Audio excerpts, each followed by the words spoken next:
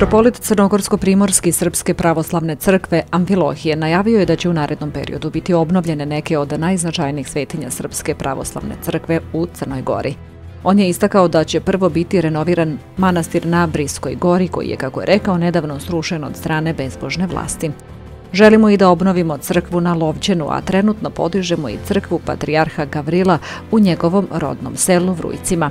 Pre nego što se vratimo na obnovu crkve na Lovćanu, što će nadam se biti iduće godine, želja nam je da najpre podignemo 20. crkvu koja je sletela sa Lovćana, rekao je Amfilohije, podsjećajući na amanet kralja Nikole i na to da je položen kamen temeljac za crkvu Svete Trojice koja će se nalaziti između Biljarde i Vladinog doma na Cetinju, a u kojoj će biti pohranjene tri najveće svetinje Cetinskog manastira. Sve što je srušeno, crkva Božja obnavlja, a najviše srušene ljudske duše zatrovane grehom i drugim nesrećama i smrtoljubljem. Crkva Božja vaskrsava duše kao što je vaskrsnula ovaj narod Božji, naglasio je Amfilohije. Komentarišući najavu mitropolita Crnogorsko-Primorskog Amfilohija, verski analitičar Željko Injac kaže da su u Crnoj Gori do sada obnavljane crkve i manastiri. U proteklih 30 godina obnovljeno je dosta crkava i manastira, a podignuto je i dosta novih.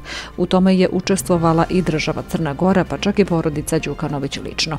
Aco Đukanović, brat Mila Đukanovića, finansirao je izgradnju hrama Hristovog vaskrsenja u Podgorici, podsjeća Injac, dodajući da zbog toga ovu izjavu mitropolita Amfilohija vidi kao političko ograđivanje od Mila Đukanovića.